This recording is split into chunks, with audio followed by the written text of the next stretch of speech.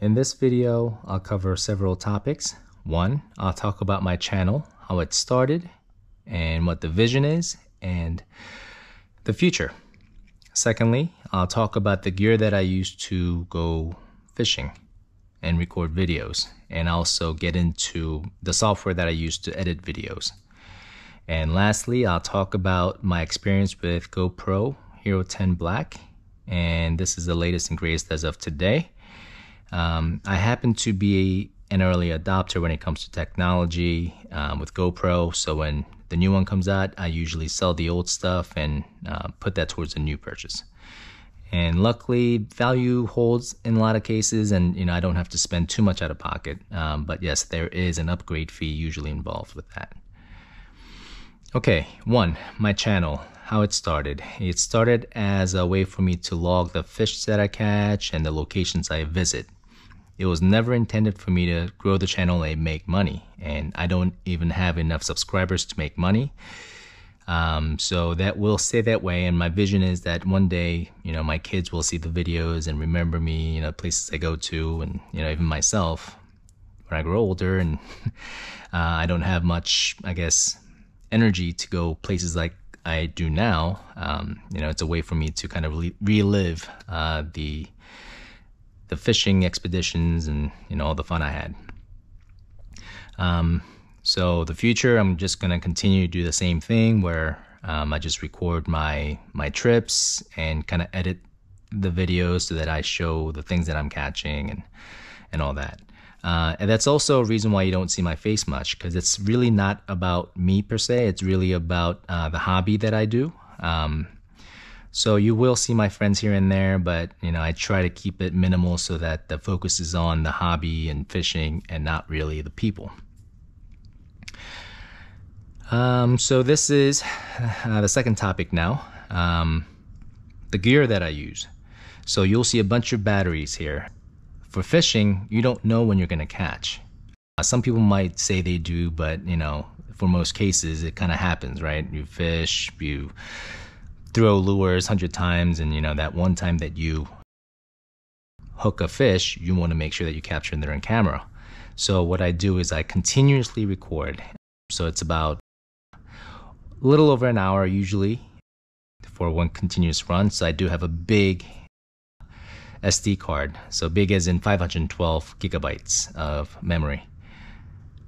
So that will last me a whole day. Um, it'll last multiple days, but I usually dump the data into an external hard drive so that I can record new videos in case I don't get time to edit the videos.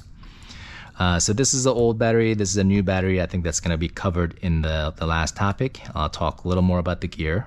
Um, so GoPro 10, GoPro 9, they come with the stock lens here. And it's smaller than the Max. The Max gives you a little more versatility. So one, it is bigger. As you can see, it's definitely comes out further from the camera itself but it gives you a little more angle uh, in terms of how much you can see in the video. And that's important because when you have your camera up on your head or on the chest, you will see a lot of hands and the reels and the focus should be on the water and you know what you're catching.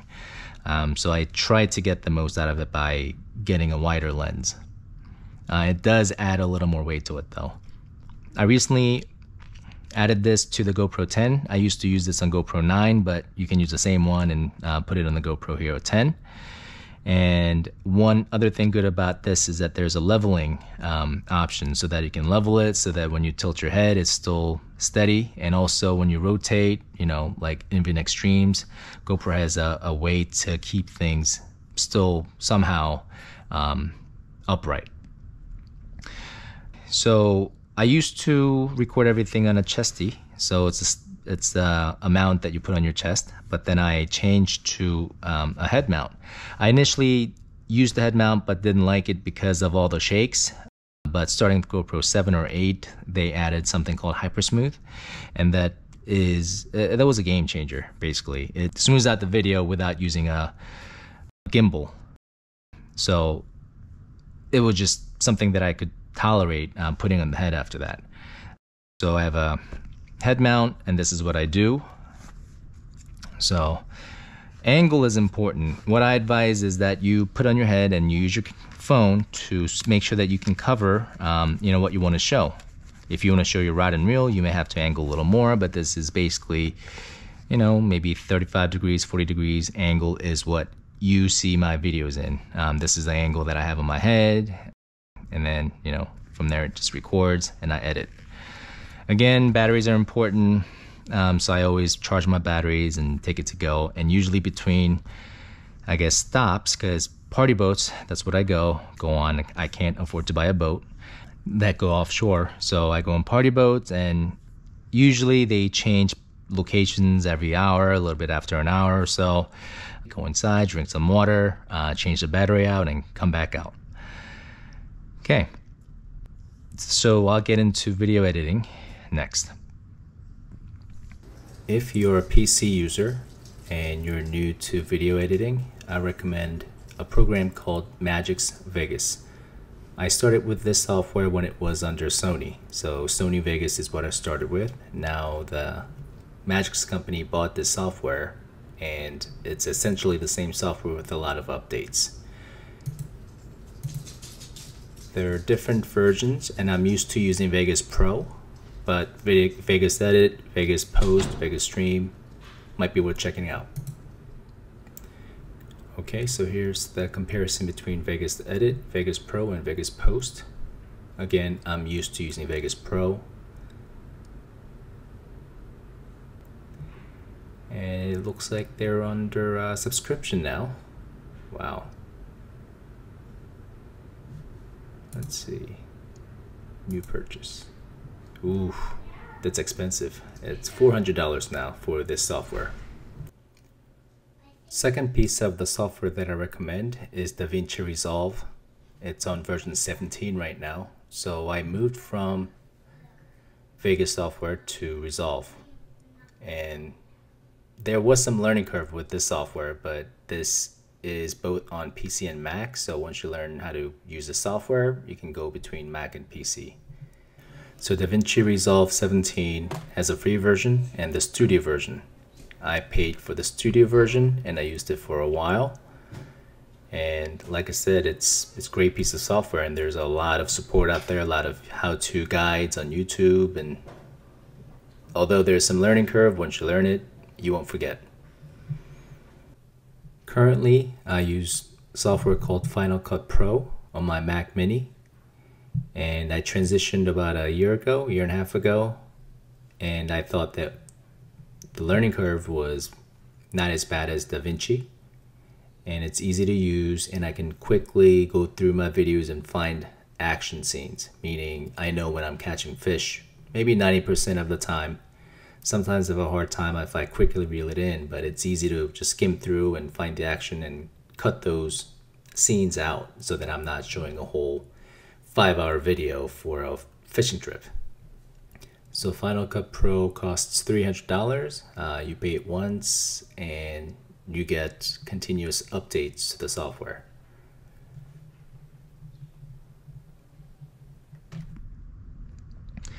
So the last topic I'll cover in this video is my review of GoPro Hero 10 Black for fishing videos. And I recently upgraded from GoPro Hero 9 Black and you see two types of batteries here. This is the, the old GoPro Hero 9 and 10 and this is the new battery that came out that's supposed to uh, record for longer and can tolerate temperatures a little more. Okay. So GoPro 10 Black. My experience has not been that great. So with GoPro Hero 9 and the max lens I was able to consistently record one hour videos more than that usually but at least one hour without overheating. So I never even considered these batteries. I use just these batteries and they would last me, you know, a couple trips. And considering that I record constantly, you know, that's actually not that bad, right? I'm always continuously recording and when I edit, I skip through, just find the action and cut that out. Um, so I do go through a lot of footage for the stuff that I do, the way I record. So one thing I noticed with this is that this is currently on the beta firmware. So the last video I made was in the beta firmware and I had to do that to use it with the uh, the max lens. Before that, I was using just a stock lens. You needed the beta firmware to be able to use a max lens, and my experience has not been good. So my last trip, I used uh, the new batteries and the the max 10 or the max lens, and was recording at 1080p. So it wasn't even high resolution. It was just 1080p with I think I believe it was 60p, so 60 frames per second.